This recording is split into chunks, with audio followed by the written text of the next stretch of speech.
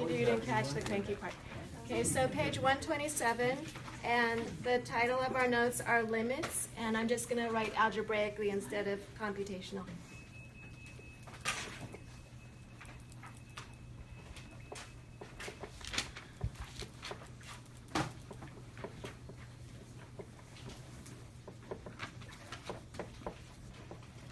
Okay, and there's a lot of different algebraic methods, and so some of my students say, oh, if I do this all the time, will it work?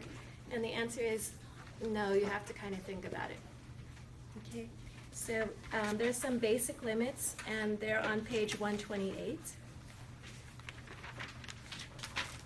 So they're in a box on page one twenty-eight. If you want to write those down, you can, but you don't have to.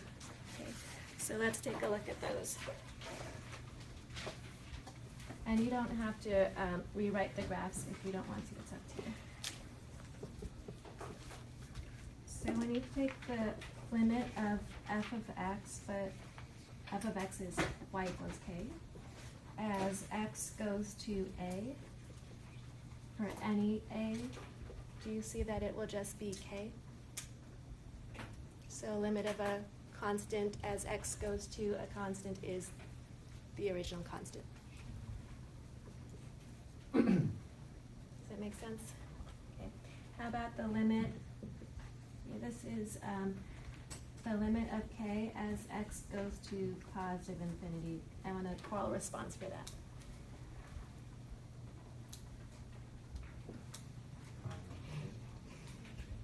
Crickets. So what is y get close to or is when x gets in? Still k. Guys are like, oh, that, that can't be it, it's too easy.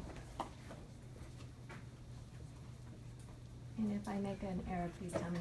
What about, I want a choral response, to the limit of k as x goes to negative infinity? Still k. So you can see why um, a lot of students just don't write that down. So now we're gonna look at the function uh, y equals x.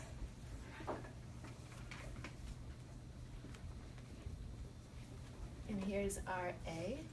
So the limit of x as x approaches a, the limit of x as x approaches, God bless you, positive infinity, and the limit of x as x approaches negative infinity.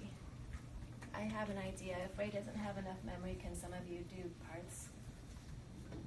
Does that make sense? Okay. Would you guys fill these in without looking at your book? Whenever I say that, people look at their books, so maybe I should use reverse mm-hmm. psychology.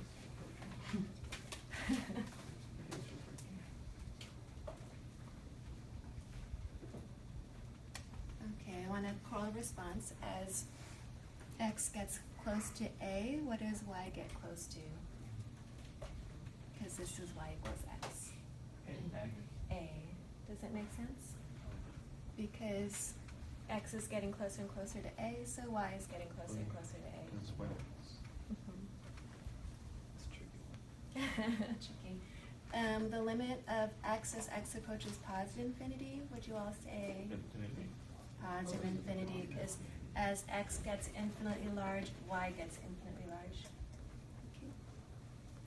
Um, the limit of x as x goes to negative infinity, negative infinity. Do you guys see it?